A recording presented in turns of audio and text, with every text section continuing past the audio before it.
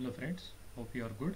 This is our lecture number 32 of unit number 3 that is design of shaft and keys.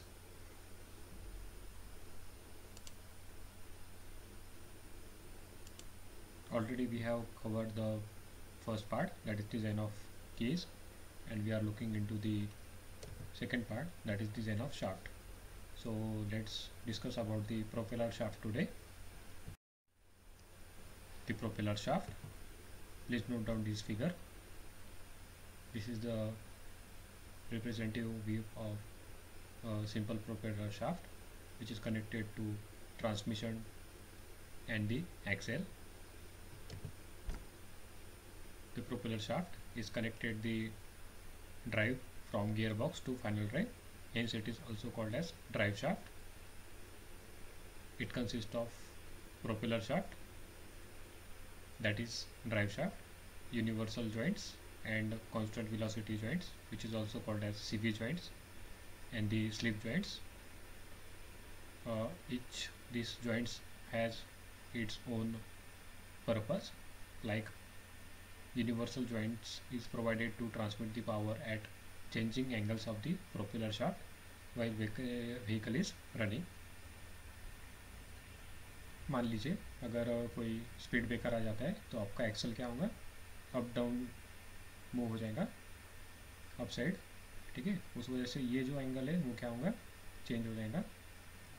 तो ये change change होने वाला जो angle है, वो कंपेंसेट करता है आपका यूनिवर्सल जॉइंट ठीक है? तो अप एंड डाउन मोमेंट जो भी है आपकी एक्सेल्स की, वो आपके पावर ट्रांसमिशन को चेंज नहीं करेंगी। ठीक है? तो ये बेनिफिट होता है यूनिवर्सल जॉइंट्स पर।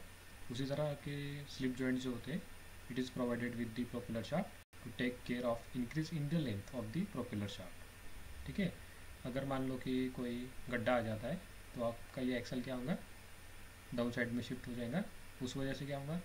ये एंगल के साथ साथ आपकी प्रोपेलर शाफ्ट की लेंथ भी बढ़ जाएगी। ठीक है? तो इस लेंथ को कैम्पेसेट करने के लिए एक स्लिप जॉइंट भी प्रोवाइडेड होता है। Along with this propeller shaft okay?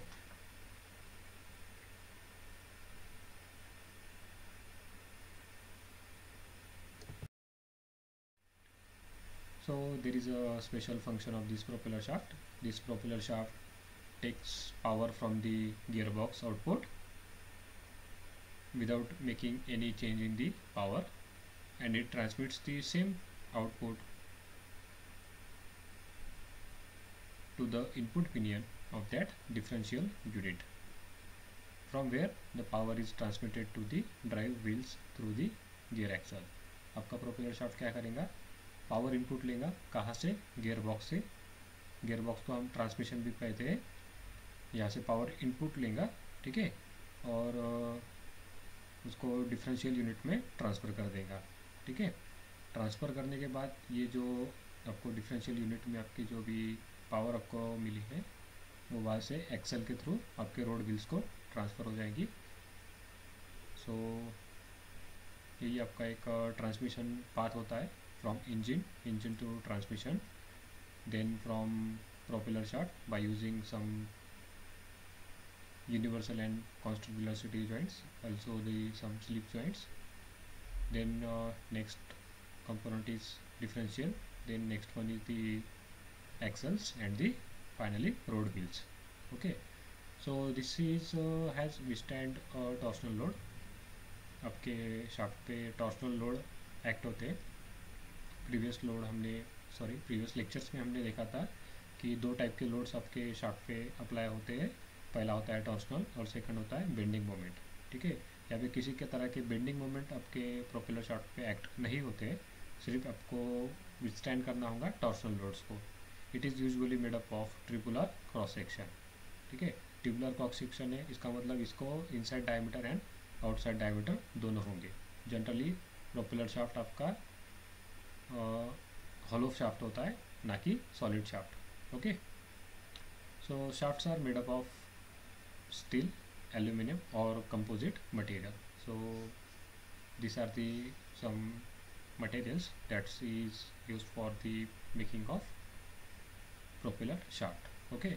So more or less this is all about the propeller shaft this is the theoretical part of propeller shaft we have covered in these lectures. From the next lecture we are going to discuss the design procedure to follow the standard procedure for the uh, propeller shaft okay? So we will stop here. I will see you in the next lecture